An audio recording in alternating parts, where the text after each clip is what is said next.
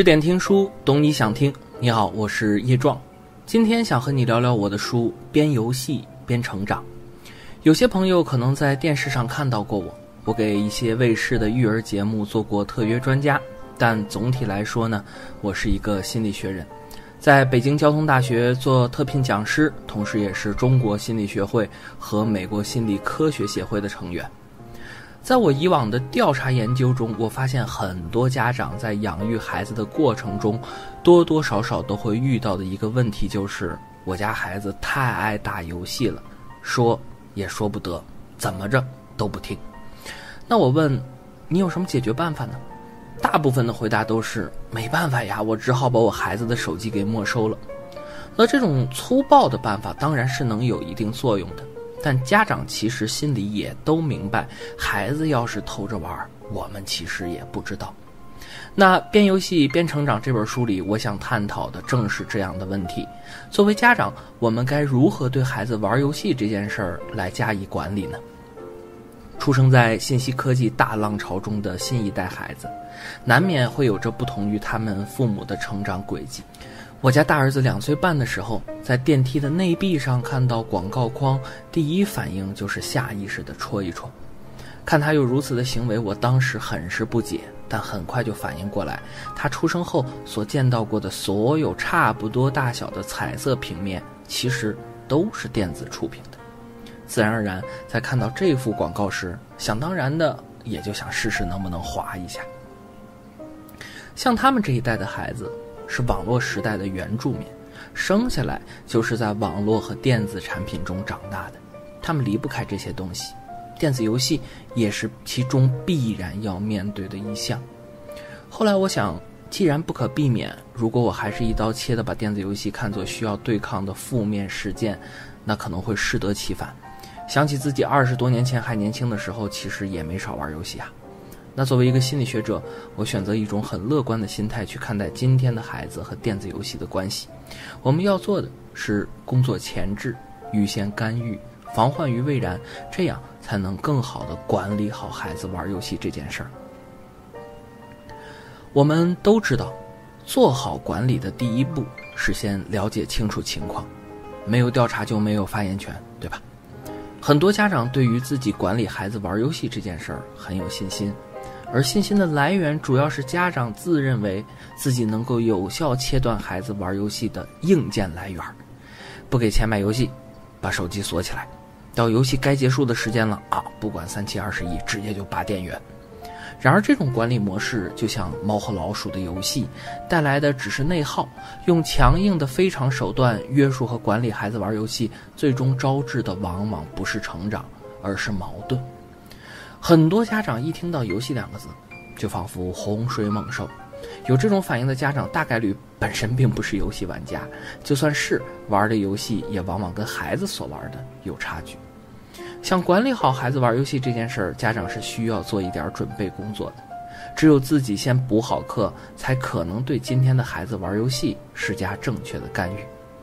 了解孩子玩的究竟是什么，家长提升对于游戏的知情水平，可以有效降低游戏带给家长的压力感受，当然也就能降低管理游戏给亲子关系带来的风险。不知你发现没有，广大家长所能接纳的放松方式，比如说看看课外书啊、游游泳啊、打打球啊，恰恰也是家长们最能看得透的方式。这些休闲方法在家长看来靠谱的最大原因是家长自己就认为说，我比较理解他们呀。家长自己也游过泳，也打过球啊。那如果摆在你面前的是你听都没听说过的游戏，你怎么可能区分其中的优劣呢？家长一见游戏就紧张，紧张就容易焦虑，焦虑就容易在与孩子交流的时候失当，问题也就这么产生了。所以在管孩子玩游戏之前。先了解一下孩子所玩游戏本身的特征与属性，家长对游戏知情水平这么一提升，自然就能心平气和地和孩子去探讨打游戏的问题。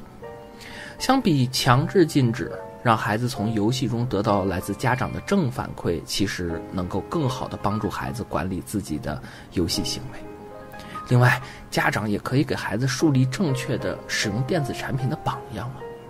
在英国的一项研究中，百分之六十的家长担心，他们的孩子会在屏幕上花费太多的时间，而百分之七十的孩子反过来则认为他们的父母其实也一样，在屏幕上花费了太多时间。我们不得不承认啊，在管孩子玩游戏的时候，我们自己好像也做得挺不到位的。打铁还需自身硬，家长也得先把自己打造成一个负责任的电子产品使用模范。一来，家长本人也成为玩家，这可以让游戏成为亲子互动的重要平台；二来，孩子年龄偏低的情况下，家长参与进来，可以在孩子不好分辨游戏内容优劣的时候帮上大忙；三来。参与本身就是管理的契机，因为你是孩子的玩伴，所以你的建议与管理也更加容易被孩子采纳。处理孩子因游戏而生的各种问题，还有一个需要注意的原则是，家长不能把游戏塑造成为影响其他生活元素的原因。比如说，在很多家庭里，游戏已经超越了游戏本身，变得跟奖励或者惩罚挂钩了。有的家长会说：“哎，儿子，你考个一百分。”明天爸爸给你买个游戏机，或者家长会说：“你答应我，抓紧时间写作业，我能让你多玩十分钟游戏。你要是不听话，我就禁止你玩了。”也还有这种情况，就是跟你在高铁上见到那种一样，一个年龄不大的孩子一哭一闹，他爸爸妈妈就拿出个 iPad 跟孩子说：“哎呀，宝贝儿，你今天消停一会儿，你就玩会儿游戏吧。”在以上的这些场景中，游戏已经超越了它本身的属性，它成为了什么呢？它成为了工具，成为了利益，成为了钓饵，成为了让孩子去以行为参与交易的筹码。让游戏超越了游戏本身，这个就是家长管理游戏的最大误区。了解是管理的前置要素。如果你不太清楚啊，王者荣耀这样的游戏是以局为单位的，而单纯的以时间为单位去管理孩子，到了二十分钟你必须停。但孩子完全可能正打到了关键时刻，那自然就很容易出现亲子间的矛盾。针对不同的游戏，我建议选择不同的管理单位。除此之外，家长也需要了解的，还包括游戏的分级机制。那么，我们以比较经典的 ESRB 分类体系为例，哈，EC 级别就意味着这个游戏适合三岁及以上的人群；E 级别意味着适合六岁及以上的人群；E10 Plus 级别。就意味着适合十岁及以上的人群，哎到了 T 这个级别，就意味着适合十三岁以上的消费者了。因为在这个级别是可以包含一小部分的暴力啊、性暗示啊、血腥的内容和模拟赌博的内容的。啊，再高级别就是 M 级别了，适合十七岁及以上的人群，允许包含激烈的暴力、色情和粗话的内容。最高级别就是 AO 级别，啊，仅适合成年人去玩。那在让孩子打游戏前，请务必确定游戏分级是适合孩子的年龄与需求的。当然，你也可以直接通过设置电脑、游戏机和手机，打开家长管理功能来限制这些硬件可以运行的游戏级别与展现内容。具体方法都可以在硬件的说明书里面找得到啊。最后呢，国内的所有正规线上游戏的运营公司也都已经建立了防沉迷系统，甚至还有未成年内容锁这样的功能。如果需要的话，啊，家长也可以多加利用。那在我的观察里，很多家长在管理孩子打游戏的时候，其实并没有让孩子参与规则的制定。你想让一个人守法，最好的方法之一就是让那个人成为法条的建立者。如果你的规则不让游戏玩家本身去参与制定，游戏玩家当然不愿意去接受你的管理了。所以在管理孩子玩游戏这件事上，请终止那种一言堂的思维，让孩子成为规则的制定者与参与者，他们自然就会更加愿意遵守之前的约定。那我们家孩子每天玩游戏，玩什么游戏，玩多长时间，虽然每天也都需要我的管理，不过这些管理的规则都是他本人参与制定的。《自驱型成长》这本书很好，那这本书的作者在他们的书中就建议了，说家长有必要提前跟孩子约定玩游戏的规矩。这样的好处是什么呢？就是在该退出的游戏的时候，避免弄得大家不愉快。除了游戏本身，还有一些与游戏相关的媒体啊，家长们也同样需要注意一下，加以利用。有很多孩子，那他属于云玩家。啊，本身可能不玩游戏，但是会通过看直播、录播、视频的方式间接去体验游戏内容，这个其实在很多家长对游戏管理的盲区里。还有很多孩子因为承担不起游戏费用，或者自己游戏水平不高啊等等原因，会选择看游戏主播去线上直播，或者去看各种游戏的攻略视频。那虽然他们没有玩游戏，但实际上在这些直播平台和视频网站上也花费了大量的时间精力。这同样需要我们家长去留心观察，防止孩子们沉迷其中。不过，话说回来啊，并非所有的游戏都一无是处。比如说，有一个非常著名的游戏叫做《EVE》啊，《星战前夜》，这是一个以浩瀚星空与广袤宇宙作为背景的游戏，上手难度极高。这个游戏光新手训练的阅读材料就差不多十二万字了。那这个游戏里面的资深玩家很少见到那种没素质的人，因为这样的人早早的就被这个游戏机制劝退了。你看，有的游戏门槛高，能在里面玩出名堂的人，通常也都不会差到哪里去。另外，我们需要让孩子知道，即使是在游戏里，也要懂得珍惜羽毛。很多人玩游戏啊，是挺蛮不在乎的。哎，你看没人知道我是谁，我骂人我也就骂了，喷人我也就喷了，还能怎么样啊？大不了我以前的号我不要了，我重新再开个号不行吗？那如果带着这样的心态去玩游戏，是很难收获一个很好的社交圈子的。游戏也能构成社交的网络。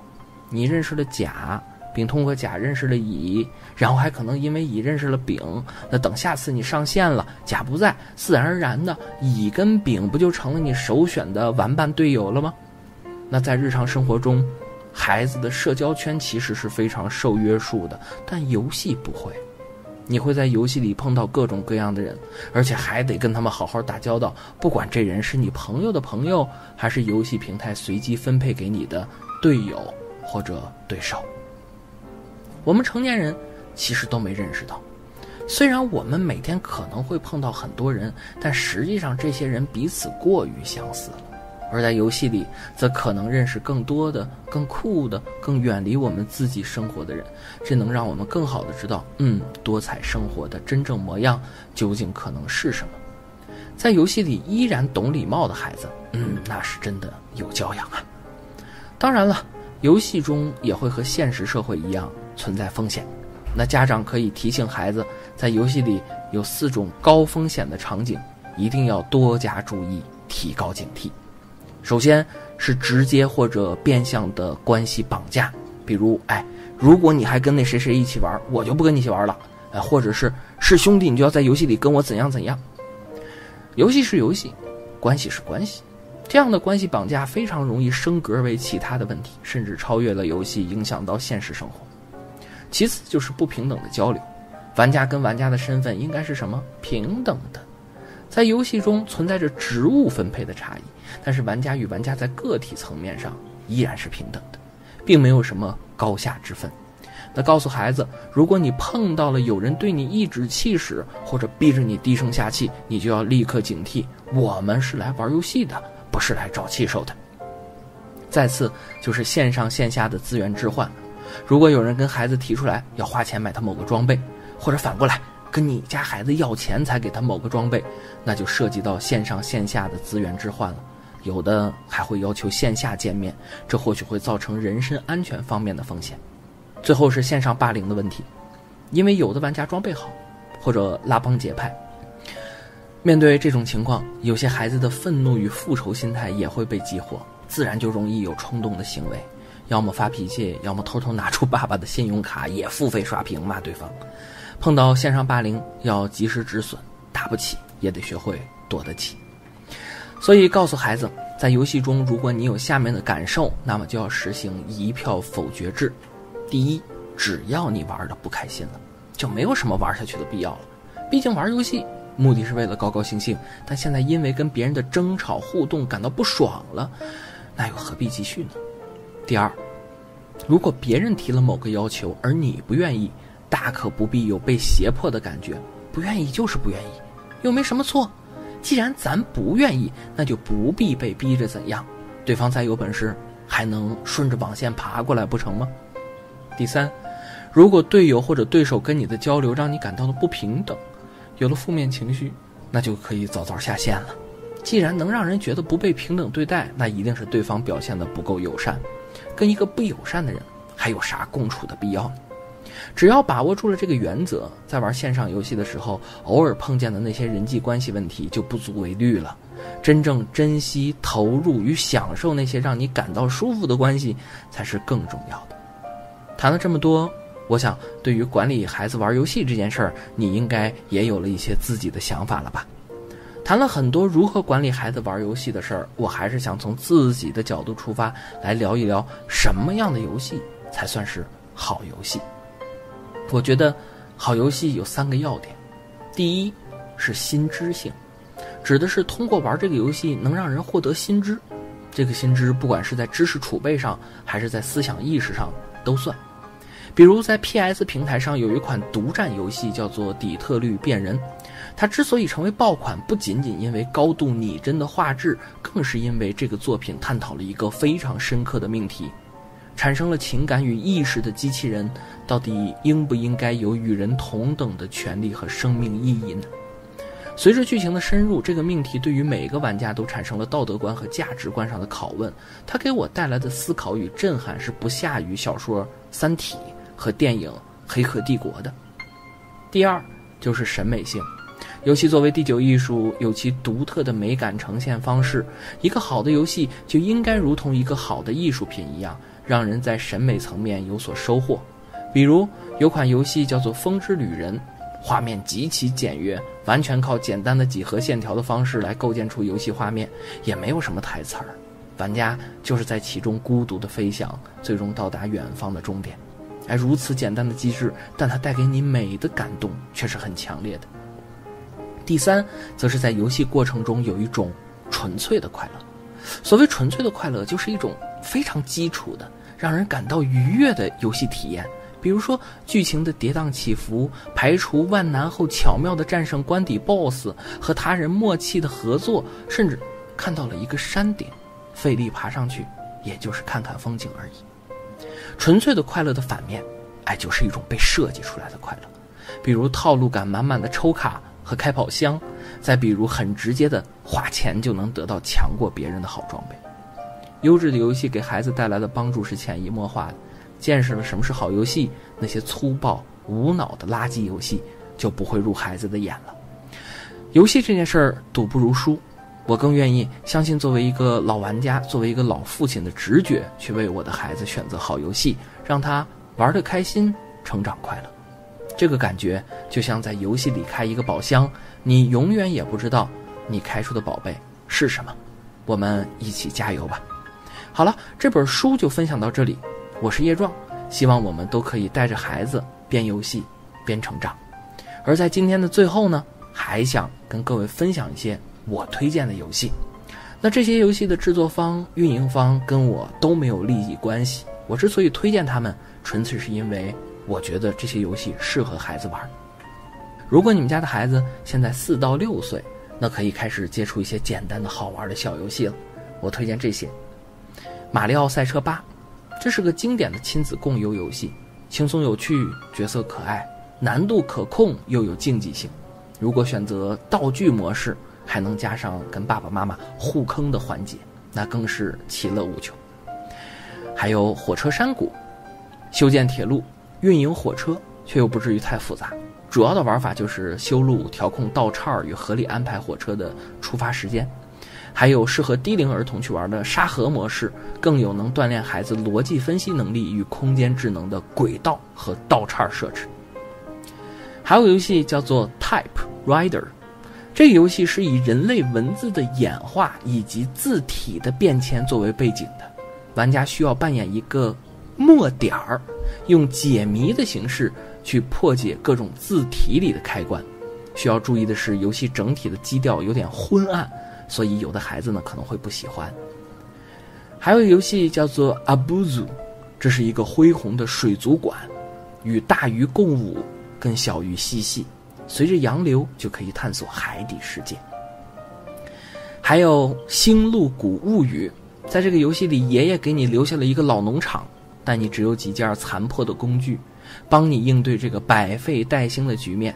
那小朋友，你能不能做到白手起家，创造一个处处动物、谷物满仓的农场呢？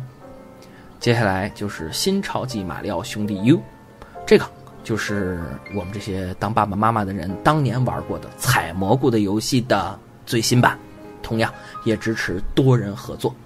如果你爱动呢，推荐武力全开，这是一个经典的体感游戏系列，可以跟孩子一起跳舞，既有合作又有运动，想不开心都很难。